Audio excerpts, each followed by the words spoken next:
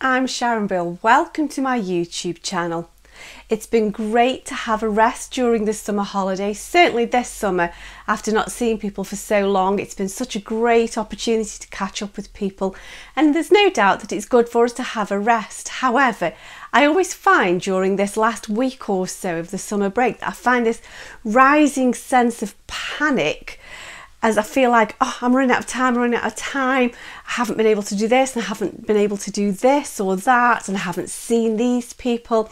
And I find myself getting stressed in trying to sort of cram in as much as I possibly can, like everything's got to be done during the summer break. And it's silly, really. And by the end of it, I'm quite grateful to be back into a bit of humdrum routine and to get back to work, just sort of a bit of calm plod again and I find that I really look forward to this new academic year. I always say that this is my favourite time of year, perhaps even more so than the actual new year in January. This new academic year I find is a great opportunity to draw a line, fresh start, new ideas, new hopes. It's kind of get yourself a new pencil case and a new notepad and sort of prep out what you goals and your aims are.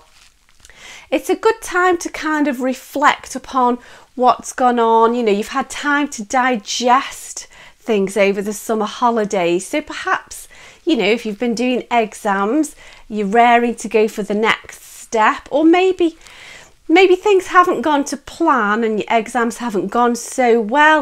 And you know, that's all part of life. It's okay. That's it's all part of the journey, really. And I think now is a really great time to kind of draw a line under it, chalk things down to experience, set aside some time, make a priority of just giving yourself a bit of peace and quiet to think, now what do I want to achieve? I'm going to be going back to lessons and I'm going to be starting my new routine and I'm going to be getting into practice routines and set out your goals and your hopes and your desires, as it were. List them out literally on a piece of paper, nothing quite so fab as a tactile piece of paper. Although I do like the app, is it the To Do app, where you can write little lists and um, when you cross them out, it makes like a little scratchy sound. Although a, a pencil's my favourite. And think, okay, I want to do this. Say for example I want to take this exam or I want to learn this piece or I want to um, you know move into theory a little bit more or you know there's so much out there. There's this whole world of music that we've got to explore. So what's next on the list?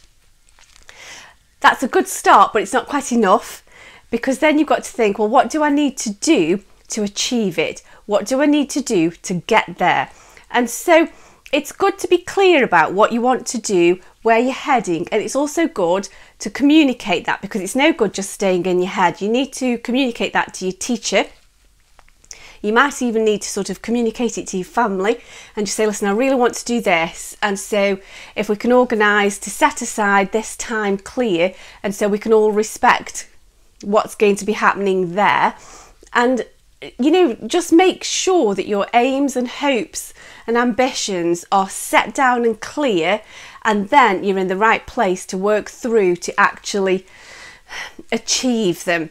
I really do love this time of year. Do spend some time, set your goals in concrete, as it were, and then you've got a clear plan. So, this is your kind of prep stage where you've got your your paper and your pens and you, you're rummaging through your music books and you perhaps need to buy a new piano book or a flute book or whatever it is that you want to learn.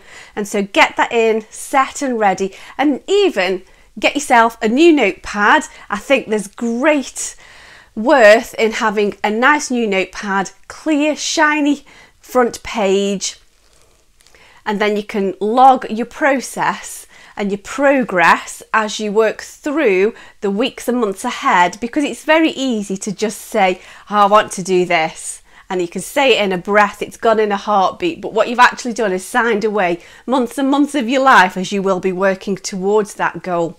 Grab your notepad, grab your pens, get your new music books, prep everything ready, get everything set up, get your bags packed and ready because this is where it all starts. And I love this new start. Whatever's gone before, it doesn't matter if you've done super ace in your exams, great, well done you. If it didn't go quite to plan, well, that's life, you know.